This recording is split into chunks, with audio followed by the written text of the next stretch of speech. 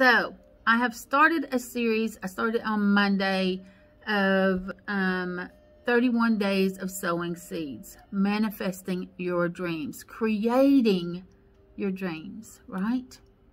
We want to bring them to life. What better month than March? We are on the cusp of spring, right? It's time when everything starts having new growth and there's you know, all, all the, the birds are nesting and, and, and laying their eggs and, and there's new life coming out and all the animals in the forest are starting to, either they're getting pregnant or they're having their babies.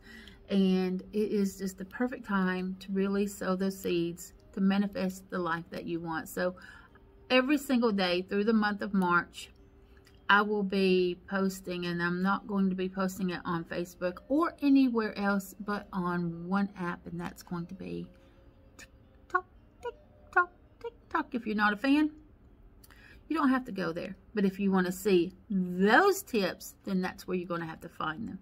31 days of sowing seeds throughout the month of March. And it's going to be different tips. It's going to be different ways to manifest. There's going to be some feng shui thrown in there about creating your money spot in your house. There's going to be different herbs and oils that help bring about abundance and prosperity and wealth and help create that life that you want. There's going to be um, stuff, different incantations.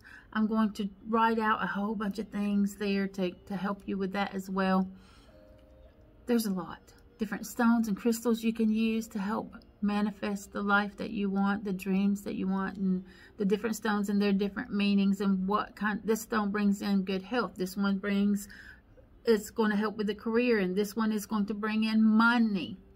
There's all kinds of things I'm going to be sharing. So if you're interested in seeing those, go over there to that other app I'm on, and you know where to find me and how to find me over there and you can see all of those little tips. I've partnered up with someone I love absolutely dearly, and he's helping me get those done this month, and it's going to be amazing. I can't wait. Let's all manifest that life that we want, right? Mm -hmm. So today, I want you thinking about what seeds do you want to sow right now? What are your biggest dreams? What do you want to work on in your life? What do you want to bring into your life to help make it better, to get you closer to your dreams. And let's not forget about the big dream, but let's start at the beginning. What kind of stepping stones do we need in order for this to come about? And let's work on those stepping stones first because those stones are going to get us right smack dab in the middle of the life we've always dreamed of. How about that? Have a great day, everyone. And remember, you have the power to create the life you've always dreamed of. Oh, yes, you do. Get outside, touch the earth, cleanse your space. And remember this, Waya the wolf, the raven, and spirit, we're sending you unconditional love. Mwah.